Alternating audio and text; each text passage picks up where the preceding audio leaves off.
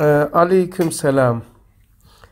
Ee, inşallah senin anlayacağın tarzda cevap vereyim. Ee, 14 yaşında olma nasibiyle e, annene babana da selam ediyorum. Bak Allah'tan nasıl lezzet alınıyor Hasan amca dedin. Şimdi e, mesela insan gözüyle bir şeye bakar, onu görür ondan zevk alır. Aleminde e, taşıyor, onu alemine taşıyor. Kulağı ile sesi içeriye taşıyor, zevk alır. Burunla koku içeriye taşır, lezzet alır. E, diliyle lezzetleri içeriye taşır. Hepsi bu kafaya gidiyor biliyor musun? Kokuda, e, tatta, dokunmada.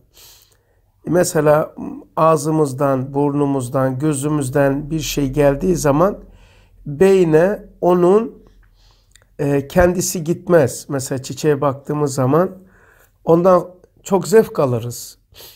Mesela balık yediğimiz zaman ondan çok zevk alırız. Ama biliyorsun ki e, balık ağzımıza koyduğumuz zaman, baklavayı ağzımıza koyduğumuz zaman dil onu e, ondan lezzet alıyor, zevk alıyor. E, dilde bulunan sinir uçlarıyla beyne gidiyor. E, lezzet alan beyindedir. E, peki balığın kendisi midir? Hayır. Balık mideye gitmiştir. E, tükürüklerle ağızdadır ama e, dilin dildeki sinir uçlarıyla e, bu lezzet elektriğe dönüştürülmüştür. İmpuls denilen bu elektriksel sinyal dolayısıyla beyne balığın balık baklavanın kendisi gitmez. O sinirlere dönüştürülmüş o gider. Burayı anlamışsındır inşallah. Veya çiçekten misal vereyim. Çiçeği göz alıyor. Bu gözün e, görme alanları var. Retina vesaire diyorlar kendi fenler. E, göz artık göze gelen çiçek orada bitiyor.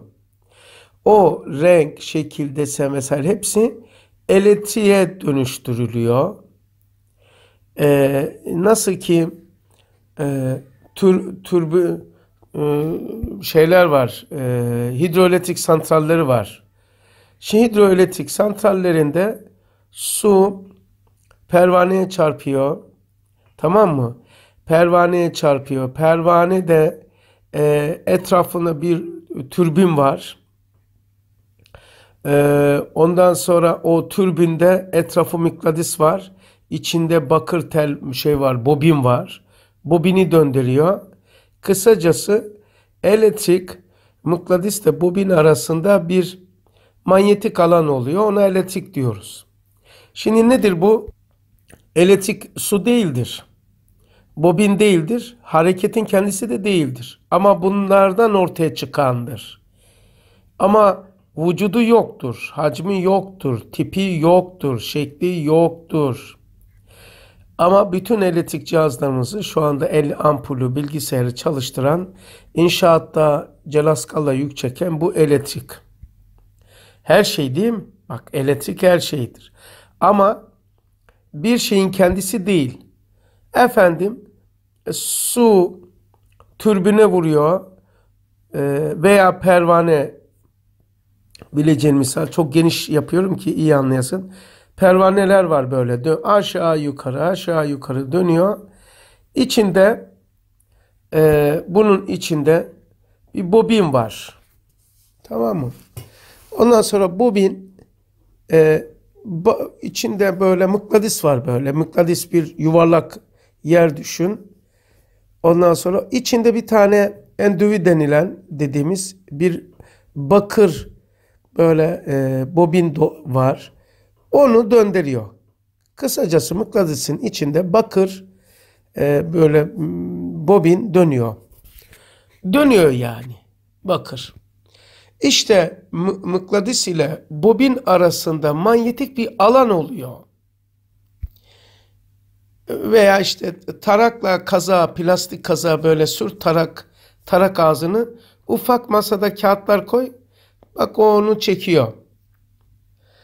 Ondan sonra veya mıknatıs düşün. Mıknatısı böyle demire yaklaştır yaklaştır. Belirli bir yere gelince bak bir güç göreceksin. Değil mi? Mıknatısta ne var? E, demire yaklaştır ama tam çektirme böyle. Orada böyle bir elinde böyle zorlayacak güçlü mıknatısse ya demiri çekecek ya kendisi ona yapışacak. Orada bir gücü hissedersin. Öyle mi? Heh. Peki o mıknatıs demire yapıştırmadan önce e, yaklaştırmadan önce gücü neredeydi? Mutlaktı. Demiri görünce kendi gücünü karşıda karşıya gösterdi. Bir örnek de vereyim. Yaşın küçük olduğundan çok zenginleştiriyorum örneği. Ee, mesela sporcuları düşün. Böyle konsantre oluyorlar, böyle video seyrediyorlar, gözünü kapatıyor ve halter tamam mı? Hıt diye kaldırıyor. Konsantre olmadan onu kaldırabilir mi? Kaldıramaz. Konsantre olmadan dövüşebilir mi? Dövüşemez. Peki ne yapıyor? Konsantre oluyor böyle ondan sonra güç insan, insanda ortaya güç çıkıyor. Şimdi sana soruyorum. Konsantre ol, olan da olmayan bendim. Şimdi ben konsantre olunca o olmayan güç nereden çıktı? Biliyor musun? Yani şimdi oturuyorsun hiçbir şey yok. Hadi bakalım bir karate filmini seyredelim. Bir boks şeyini seyredelim tamam mı? Merakında varsa böyle böyle nasıl böyle o, sende de aktif oluyorsun tamam mı? Veya kafirin böyle İslam'a hücum ettiği zaman böyle nefret ediyorsun. Şimdi konsantre olmadan önce bu güç sendeydi ama örtülüydü. Konsantre olduğun zaman ortaya çıktı değil mi? Aynen bu örnekler gibi. Ee, şimdi sen gözde çiçeği kafaya alıyorsun. Çiçek artık kendisi değil, on, o elektriğe dönüşmüş. Ee, burundan koku dedik. Ondan sonra peki çiçeği gördün, ondan lezzet aldın. Peki görmediğin bir şeyi hayal etsen lezzet alır mısın? Alırsın. E, konsantre olsan güç ortaya çıkar mı? Çıkar. İşte Allah'ı da böyle tefekkür ettiğimiz zaman konsantre gibidir. Mesela bak e, sporcu konsantre olmadan önce normal. Konsantre olunca güç çıkıyor. Nereden çıkıyorsa Allah'ı da Allah'a konsantre olunca al bizim lisanla Allah'ı tefekkür edince o konsantre olduğumuz zaman ortaya çıkan ruhtan çıktığı gibi tefekkür edince de Allah'ı veya konsantre olunca Allah'a Allah da böyle bir kutsi bir güç, enerji ve lezzeti insanda ortaya çıkıyor. Hani e, hayal ettiğimiz zaman, hayal ettiğimiz zaman bazı şeylerden lezzet almıyor muyuz böyle? Allah Allah. Ama ortada yok o. Yok burada. Belki de geçmiş. Belki de hiç görmemişim. Sen hiçbir hiç görmediğin bir şeyi hayal edip lezzet almıyor musun? Mesela hiç uçak kullandın mı sen? Yok. Hayalen kullanırsın ve kullanmış gibi lezzet alırsın. Değil mi? Peki sen hiç e, Kabe'ye gittin mi? E, gitmemişsin veya başka herhangi bir devlete, Sudan'a, Somali'ye gittin mi? E, yok. E, mesela hayal edip veya denizin üzerine e, bir spor yaptın mı, kaydın mı? Onu hayal etsen sanki yüzüne rüzgar gelir gibi hissedersin yani. Tamam. Mesela ağrıları da kaldırabilirsin. Mesela hayal et. Ağrım yok. Tamam mı? Ağrım, çok güçlüyüm, çok güçlüyüm. Ben böyle bir e, insana rastladım ama e, YouTube'da da buna ait bir video da vardı. Mesela adam e, motorla kaza yapıyor. YouTube'da girersen görürsün. Kafadan aşağı felç. Tamamen bitmiş ve doktorlar söylüyor ki bu gavur yani. Müslüman da değil.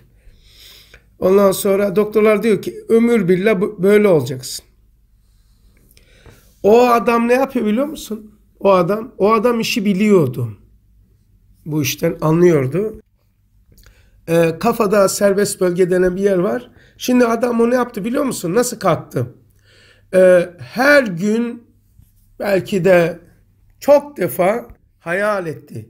Felçte olan hasta delikanlı. İyileştim, yatağımdan iniyorum, hastaneden merdivenden aşağı iniyorum, arabama biniyorum gidiyorum. Her gün yapmış yapmış. Beyinle vücuda bir, bu sinyali veriyor devamlı.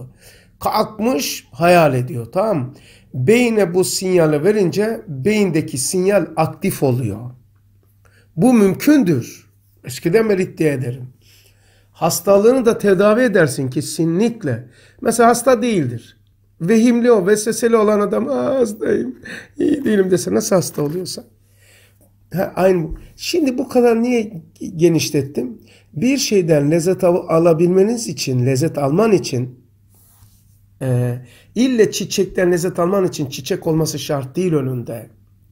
İlle e, balık baklavadan lezzet alman için, balıktan lezzet alman için o olması şart değil.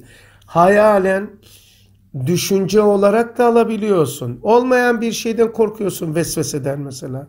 Aa ölüyorum bir şey yok. Aa orada birisi var. Hiç kimse yok.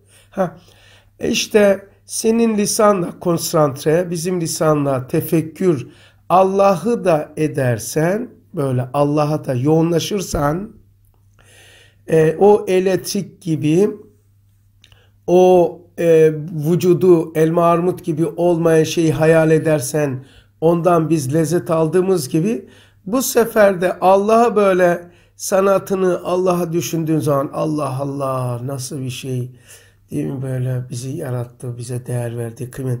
Böyle hemen Allah da zaten vaat etti. Bana bir adım gelene ben on adım. Sen böyle Allah'a yöneldiğin zaman, Allah'a konsantre olduğun zaman, yani Allah'a tefekkür ettiğin zaman o hemen ruhunda böyle tatlı bir lezzet sarar böyle. Çok keyifli, Böyle güzel bir lezzet olur. İşte o Allah kendisini sana araladı. Buna şu ağlarda annem babanla söylersin göstersinler. 9. sayfada Allah teayyün ve teşahhus ediyor. Yani sende ortaya çıkıyor. Böyle bir keyif veriyor, lezzet veriyor, huzur veriyor, dert bırakmıyor. Böyle bir sarhoşluk hakikat sarhoşluğu oluyor böyle. Böyle ki hayat mükemmel oluyor. Çünkü bu şey imandır. İman kendisi de lezzettir yani. Böyle nasıl ki namaz kılarken lezzet alıyorsun. Ee, nasıl lezzet al? Pervaneler var ya böyle Çatalca'ya giderken elektrik pervane aşağı yukarı aşağı yukarı. Ha pervaneler dönüyor. Ee, elektrik ortaya çıkıyor. Vişlikten yaratılıyor. Elektriğin tipi yok, hacmi yok, şekli yok. Nasılsın, ne haber, tokalaşamazsın. E, acıkmaz elektrik. Yaşı da yok ha. Gecesi gündüzü yok, üşümez. Ömrü yok. Dişi de değil, erkek de değil. Elektrik. Sonra o pervane dönünce elektrik üretiliyor. E peki binlerce, milyarlarca cihaz çalışıyor. Ha, Namazda da sen eğilip kalkıyorsun, eğilip kalkıyorsun. Pervane gibi el, ruhta elektrik imal ediliyor. Bu bu iman elektriğidir. Bu sefer bu iman elektriği de ahirette yarayacak cihazlarımızın çalışmasına sebebiyet veriyor. Nedir o? Ebed, sonsuz, bir anda her yerde olacağız. Dertlerimiz, sıkıntımız olmayacak bir alem. Kabirdeki keyifli haller, cennetteki böyle ahirete ait insanın istek ve arzuları maki bir cihaz gibidir, alet gibidir. Onları çalıştırıyor, onları doyuruyor. İnsan tatmin oluyor. Mesela ölüm korkusu var. Hemen iman gelince merak etme ölüm geçiştir, pasaport dairesidir. Vize alıyorsun devletten karşıya. Allah Resulü'nün tabiriyle zindanı dünyadan bostan cinana çıkıştır. Bediüzzaman'ın ifadesiyle ölüm diyor gözüktüğü gibi dehşetli değildir. Dar e, karanlık, yalnız, kimsesiz toprak altında olan çekirdeğin güneş alemine ağaç olması gibidir demesi gibi lezzet veriyor. İnşallah Allah'tan nasıl lezzet alınıyor? Ee, aynı böyle tefekkürle vesaire alınıyor. İnşallah anlatabilmişimdir. Ee, inş, e, bana dua et, ben de sana dua ederim bu soruyu sordun maşallah. Ee, herkese selam selam ediyorum. Selamun aleyküm.